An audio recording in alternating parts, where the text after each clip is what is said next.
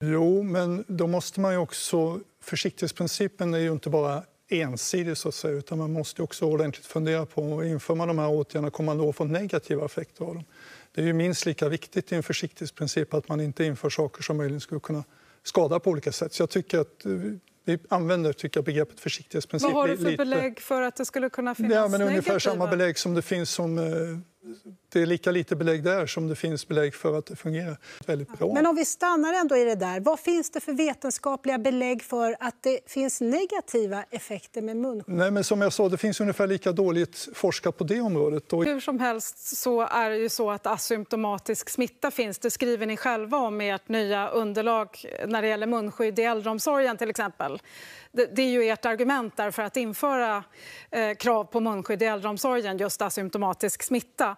Eh, och då undrar jag då, just med tanke på det att människor som, som känner sig friska eh, och, och, går runt i, i, i mataffärer och, och, sånt där, är inte asymptomatisk smitta ett argument för att munskydd kan vara bra på fler ställen än just under rusningstid i kollektivtrafik? Nej, egentligen inte eftersom asymptomatisk smitta motverkar man bäst genom att hålla avstånd.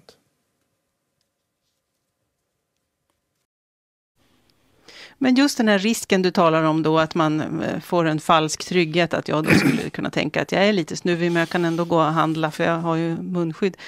Eh, vad grundar du det på? Finns det några studier som visar att folk agerar så, eller är det bara en risk som du ser? Nej, det finns lika lite studier på det som att det har effekt. Eh, så här sitter vi ju alla i samma båt, att det finns inte bevis för det hållet.